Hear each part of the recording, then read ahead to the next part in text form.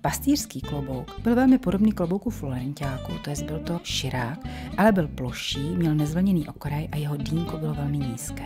Bridé je ve skutečnosti jen okraj krempy, která je ohrnutá nahoru.